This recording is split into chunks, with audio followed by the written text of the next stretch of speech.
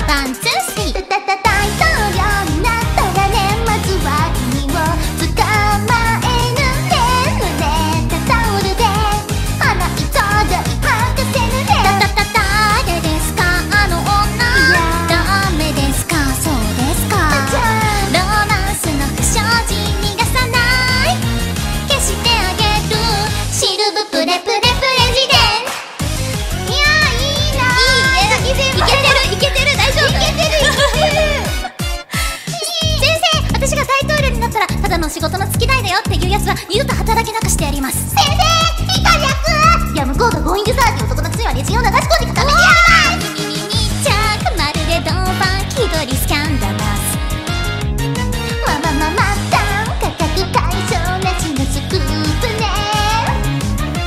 愛はない理由じゃない悪くないのね。はいはいはい。